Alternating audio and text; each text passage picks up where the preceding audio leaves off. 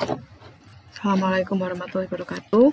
Anak-anak kelas 12 RPL Alhamdulillah ini adalah video seri terakhir kita Untuk materi uh, full stack dengan menggunakan React dan Laravel Membuat e-commerce dashboard. Nanti minggu berikutnya nanti kita akan mulai membuat shopping cart Dengan menggunakan platform yang lain ya ini untuk video kali ini kita akan sedikit memberikan style ya eh, pada aplikasi web kita. Nanti harapan Bu Dewi nanti kalian bisa meneruskan untuk styling ini dengan menggunakan CSS dengan eh, kreativitas kalian masing-masing. Untuk kali ini kita mau mulai dari mengganti icon, icon ini icon default, mengganti nama aplikasi ini, kemudian memberi style ke uh, tombol di atas ini dan juga merapikan tabel-tabel yang ada di sini. Oke, langsung saja. Ya, yang pertama kita akan mengganti uh, judul aplikasi dan juga icon ya. Ini bisa kita lihat di di dalam folder public itu ada five icon. Nah, ini five icon dan halaman index ya. Di sini untuk mengganti icon itu kalian harus mereplace ya. Paling cepat adalah di replace five icon ini. Five icon ini adalah uh, bawaan asli dari React. Kemudian nanti ini kita bisa replace aja dengan menggunakan icon kita yang baru sehingga kita tidak perlu modifikasi ini modifikasi ini. Kemudian untuk title bisa langsung kita ganti di sini kita bisa kasih nama terserah kalian bisa kasih nama apa ya kalian maunya bebas. Uh, saya kasih nama K12 jualan misalnya. Uh, nah contoh ya kalian bisa kasih nama sesuai dengan keinginan kalian masing-masing.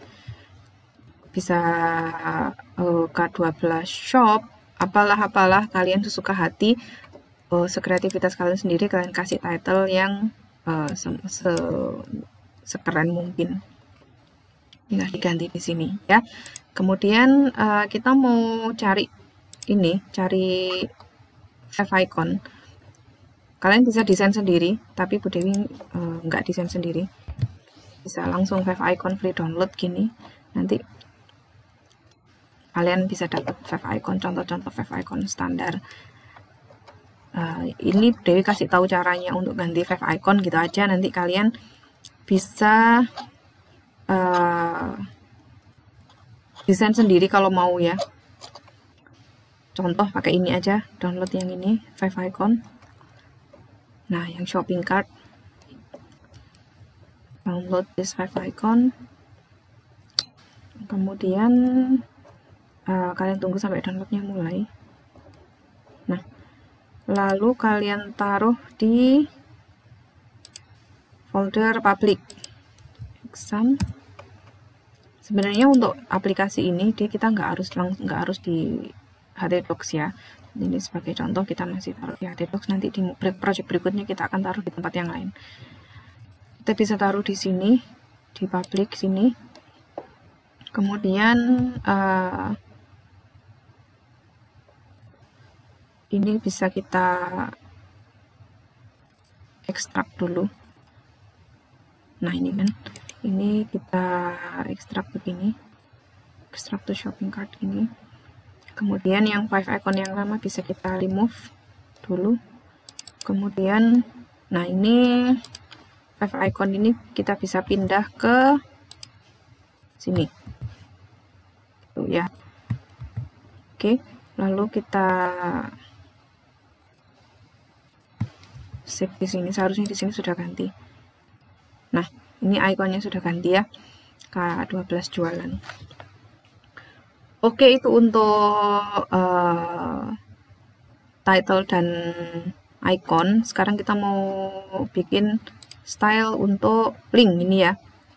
Nah, sebelumnya ini sisanya ini bisa kita hapus kalau mau. Jadi biar nggak ada file-file yang tidak diperlukan masuk ke ini kita. Kemudian uh, untuk membuat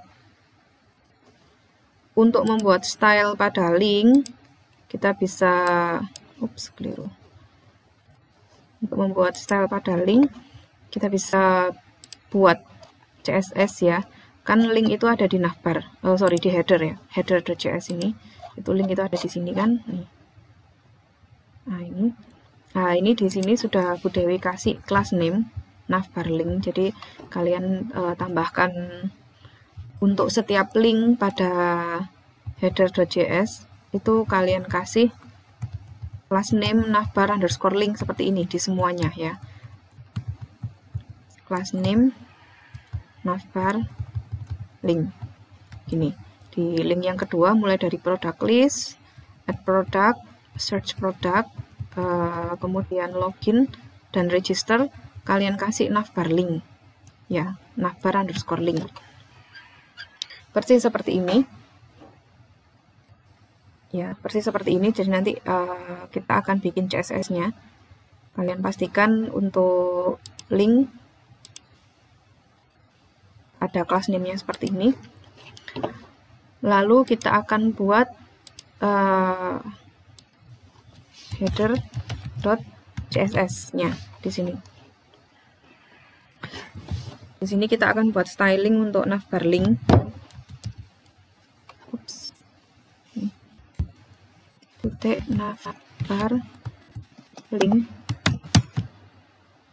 Kita akan kasih background colornya uh, tiga tiga gini. Atau agak terang juga boleh. Kalian bisa pilih. Nah seperti itu. Bisa kalian atur dengan menggunakan seperti itu. Kemudian yang kedua kita kasih padding 10 pixel. Padding ini untuk memberi jarak antara konten dengan tepian ya. Kemudian kita kasih border radius border radius ini uh, digunakan agar supaya kotaknya kotak kotak seperti ini ya. Nah ini ini kan kotaknya agak bulat gini kotaknya kotak bulat. Nah ini dipakai ya pakai border radius untuk mengatur seperti itu. Maunya di tombol ini nanti kita kasih buletan seperti itu. Border radius kemudian kita kasih color untuk teksnya. Kita kasih warna white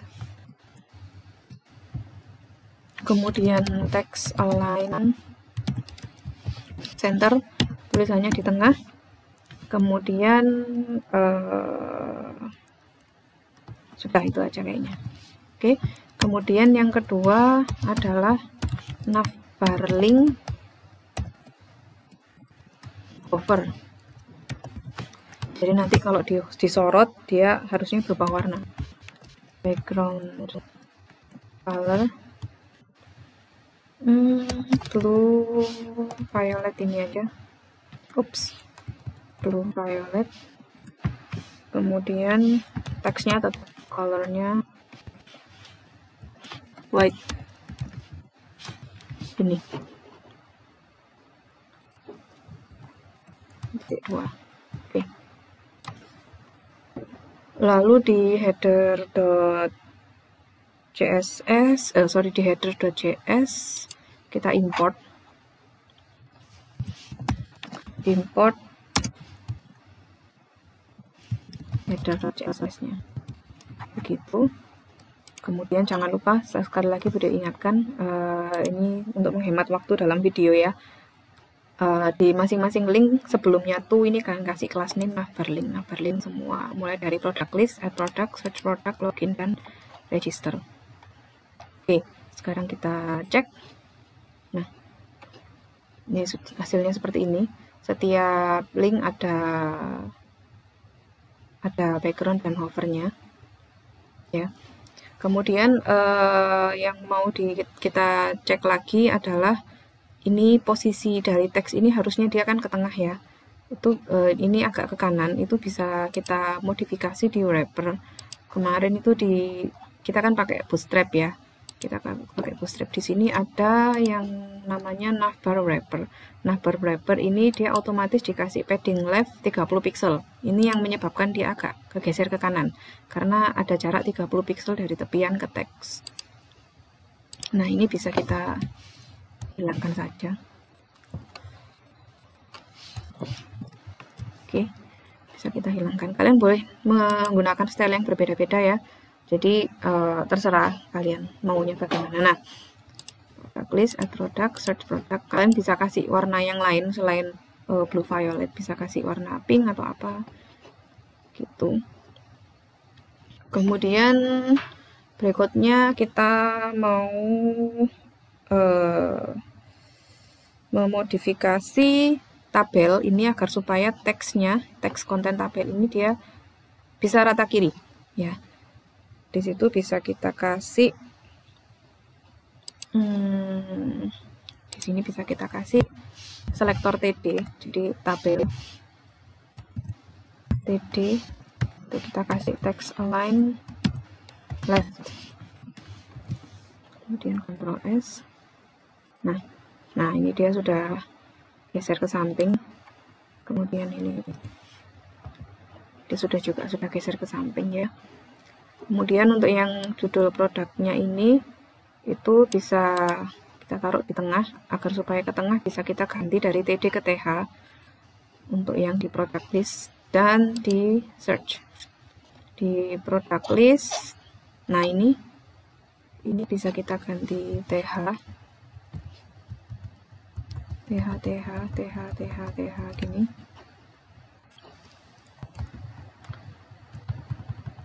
TH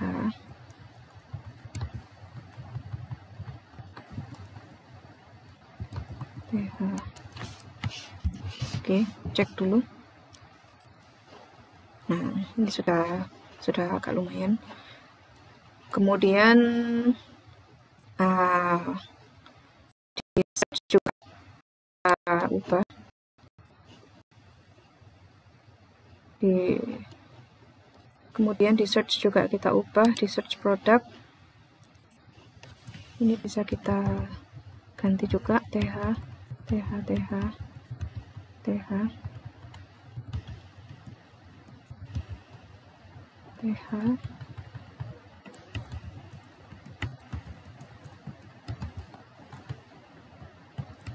begini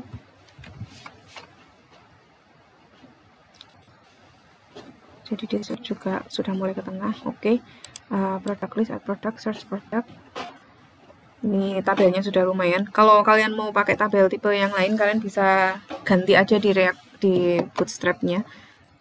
Hmm, di sini kan ada tabel solid bordered hover ya dari tabel React Bootstrap. Nanti kalian bisa ganti dengan kalian dengan apa yang kalian mau. Jadi tinggal dilihat di sini lihat bootstrap table.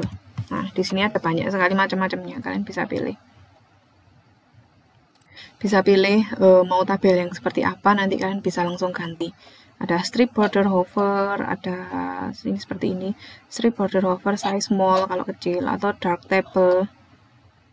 Jadi misalnya ini diganti dark. Nah, produk listnya misalnya. Kita kasih gini.